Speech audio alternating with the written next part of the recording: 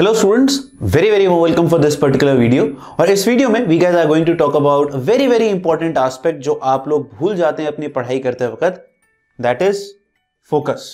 ठीक है? So focus एक ऐसा वर्ड है जो कि हम बहुत डेली लाइफ में यूज़ करते हैं और उसका बहुत गलत उपयोग करते हैं on an every day basis and at this point in time where paper is just forty days away it is very very important कि आप सब लोग फोकस करके पढ़ाई करें। तो फोकस करके पढ़ाई करने का मतलब क्या है? इसमें बहुत सारी चीज़ें आती हैं। ऐसा नहीं है कि सिर्फ़ एक फोकस, एक बहुत छोटा वर्ड है।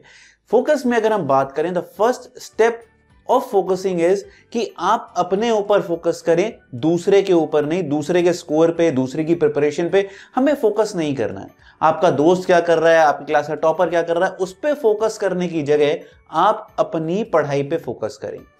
दूसरा फोकस पॉइंट आता है एकेडमिक पॉइंट ऑफ़ व्यू से, कि मैं किस चीज़ पे फोकस करूँ सर मैं अपने स्ट्रॉन्ग टॉपिक्स को इंप्रूव करूँ, मैं अपने वीक टॉपिक को इंप्रूव करूँ, जो मैंने पढ़े नहीं है, उन्हें मैं फोकस करूँ, किस चीज़ पे मैं फोकस करूँ?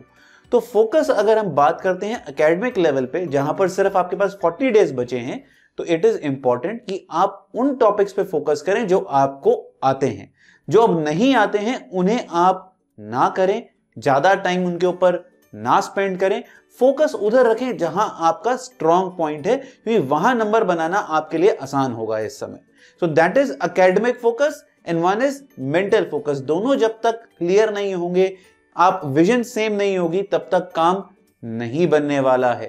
दूसरा या तीसरा इसमें अगर मैं पॉइंट ऐड करना चाहूँ, जो कि आपका एकेडमिक फोकस से ही रिलेटेड होगा फोकस करें जितने क्वेश्चन आप सॉल्व करते हैं। अपना फोकस जो है लिमिटेड क्वेश्चंस पे रखें उनसे सीखने की ज़्यादा कोशिश करें रादर देन कि मैं बहुत ज़्यादा क्वेश्चन करने की कोशिश करूँ, पर उन्हें आउट ऑफ़ फोकस कर दूँ। आउट ऑफ़ फोकस का क्या मतलब है कि आप सॉल्व तो कर रहे हैं, आप शायद सही भी सॉल्व करके आंसर भी निकाल रहे हैं, पर आप उससे लर्निंग नहीं डेराइव कर रहे हैं। बहुत ज़रूरी है कि आप चाहे भले 30 या 40 क्वेश्चन ही सॉल्व करें एक चैप्टर के, पर उन्हें इतने अच्छे तरीके से करें, हर चीज़ को why this why this and why this तीन लेवल ऑफ़ वाई में जाके सॉल्व करें, तब जाके आपकी रियल लर्निंग होगी। So please guys mental focus academic focus जब दोनों मिल जाएँगे, तब जाके स्ट्रॉन्ग रिज़ल्ट बनने वाला है। That is what you should do भूल जाओ, तुम्हारी क्लास का टॉपर क्या करता है, तुम्हारा दोस्त क्या करता है, उससे तुम्हारे स्कोर पे अगर कुछ इंपैक्ट होना है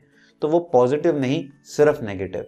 अगर आप अकेडमिकली आउट ऑफ़ फोकस जाके पढ़ाई करेंगे जो लिमिटेड सेट है, उसको ढंग से नहीं करेंगे कॉन्सेंट्रेट नहीं करेंगे तो भी रिज़ल्ट जो का एक ही इफ़ेक्ट होने वाला है नेगेटिव दोनों में अगर आप नोटिस करें,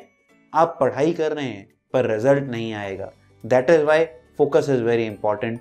start exercising focus इतना आसान नहीं है जितना मैं बोल रहा हूँ, मुझे पता है. मैं खुद इसके साथ बहुत स्ट्रगल करता हूँ daily focusing is very very important very very important अगर आप बात करते हैं कि मैं यूट्यूब से पढ़ाई करता हूँ तो यार आपको पता है खुद,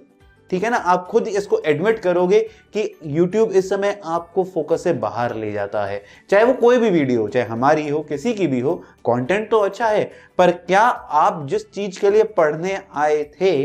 आप वही पढ़ रहे हैं? क्या आपका टॉपिक जो सिर्फ़ 10 मिनट का था, आपने सिर्फ़ 10 मिनट स्पेंड करे YouTube पे? या फिर आप 10 मिनट के बाद चाहे पढ़ाई ही कर रहे हैं, आप उस वीडियो को देख के कोई और पढ़ाई की वीडियो पे चले गए but that is called out of focus if you are out of focus result will never ever come so start planning start focusing so that you can have a improved result Okay guys, so as you guys have been waiting, J007 timings will be revealed tonight. They will be revealing, uh, we'll be doing the uh, intro and everything कि J007 क्या है J007 का हमारा target था कि जो past year questions आते हैं उनसे रियल लर्निंग डिराइव करी जाए वो हम आज शाम को आपके साथ टाइमिंग उसका रिवील करेंगे शेड्यूल बताएँगे दूसरा सी टी क्रैश कोर्स हमें लॉन्च करना था कल किसी कारण हम डिटेल्स लॉन्च नहीं कर पाए कल so we will be revealing crash course detail for M H T C D tonight at the same time 9:30 PM उस समय हम रिलीज़ करेंगे और आपको जेई ज़ीरो ज़ीरो सेवन के बारे में भी उसी समय अपडेट कर देंगे। God bless you all keep working really really hard and I hope you start practicising this particular word which is essence of the world focus.